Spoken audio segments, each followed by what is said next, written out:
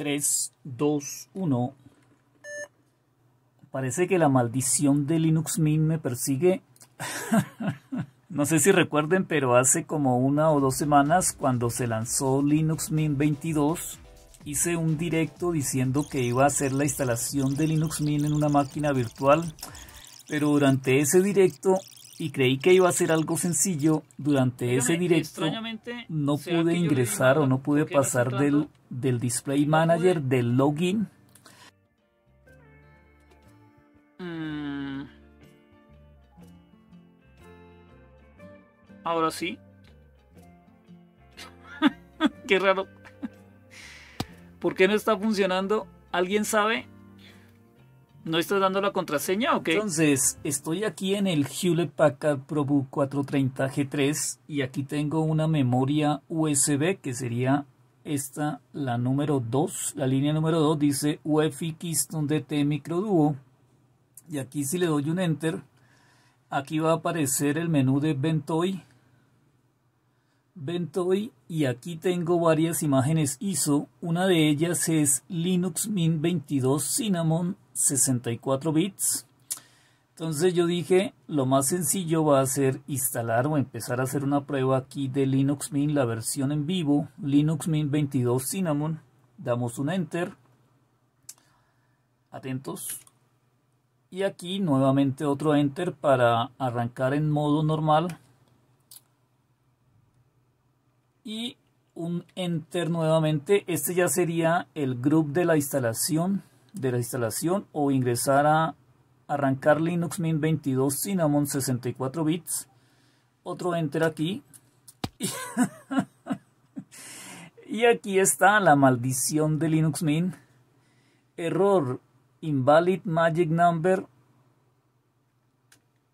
Usted necesita cargar el kernel primero. Presione una tecla para continuar. Ok, muy seguramente descargué mal la imagen ISO o no se copió bien en, el, en la USB de Ventoy.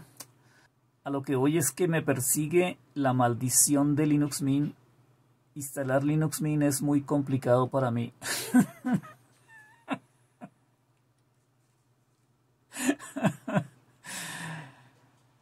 Todo lo que me molesta, Kailan Won tiene razón.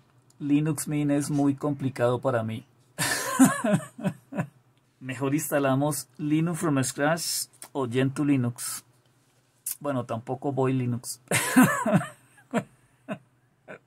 ok, ya tengo nuevamente una USB con Linux Mint. Esta vez no la creé con Ventoy, sino que la hice directamente con el comando dd sudo dd if y todo lo demás. Entonces va un nuevo intento Rezamos que se alejen los malos espíritus. Y aquí vamos de nuevo con F9.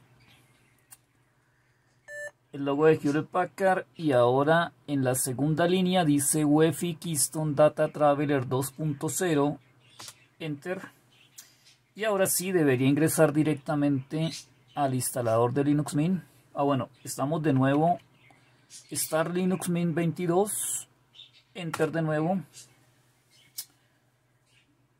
Y ahora sí quedó bien grabada la, la USB alejando los malos espíritus que no me dejan instalar Linux Mint. Vamos tú puedes ahí está por fin el logo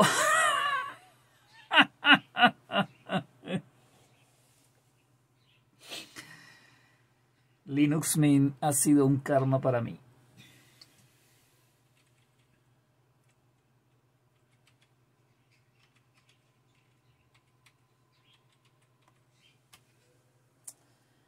Todo por no instalar Boy Linux.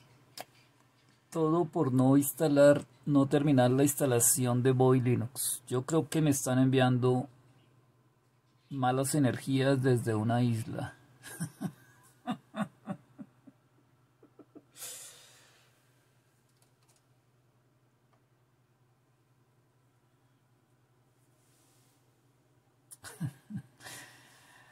Ok, ahí ya está arrancando Linux Mint, la versión en vivo live de Linux Mint.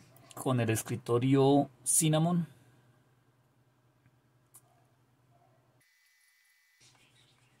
Tú puedes. Ok, conexión establecida. Aquí ya estamos en la versión en vivo de Linux Mint. Ahora va a aparecer el mensaje de bienvenida. Install Linux Mint.